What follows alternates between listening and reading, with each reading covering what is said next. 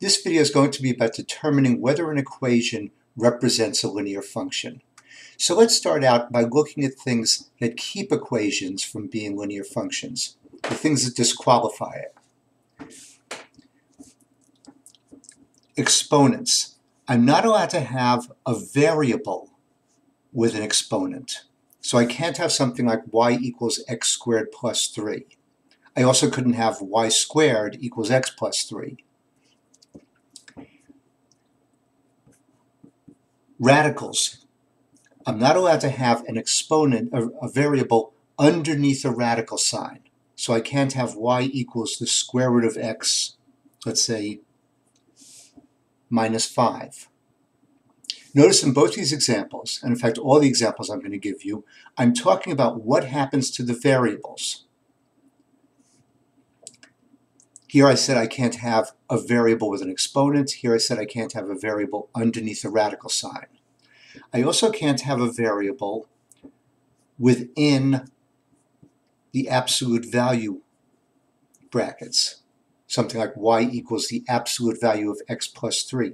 This would not be a linear function. I can't have variables multiplying variables. So something like xy equals 7 is not a linear function.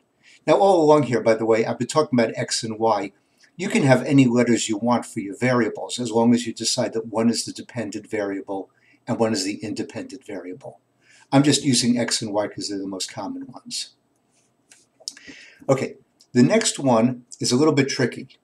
In general, you can't have a variable in the denominator of a fraction like y equals 1 over x. But I have to talk about that for a second. Because you can have a variable underneath a variable. In other words, let's say I have y over x equals 3. Well, the reason I'm allowed to have that is because if I multiply both sides of this equation by x, I'm going to get y equals 3x. And that's fine. That's a linear function. Okay? So going over the part with, with variables in a denominator. You can't have a variable in the denominator of a fraction unless there's another variable in the numerator. Okay? So the general disqualifiers are going to be if you have a variable with an exponent, if you have a variable underneath a radical sign, if you have a variable within the sign for absolute value, if you have variables multiplying variables, and finally, if you have a variable in the denominator of a fraction and there is no variable in the numerator. Okay, make sure you understand this part. Okay, now, all along here we've been talking about the variables. What about the rest of it?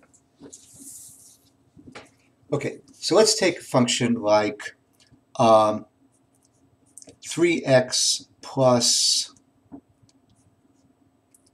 6y equals uh, 7. Okay, is that a linear function? Well, first of all, there's nothing disqualifying it.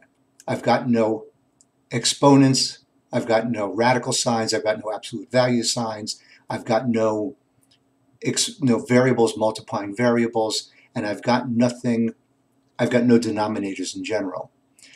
If you want to be absolutely sure about whether something is a linear function, see if you can turn it into either this form. This is called the standard form, by the way, where you have both your x and your y separated by plus or minus on one side of the equation, and some constant like this 7 on the other side. Or see if you can turn it into this the uh, slope-intercept form, the y equals mx plus b form.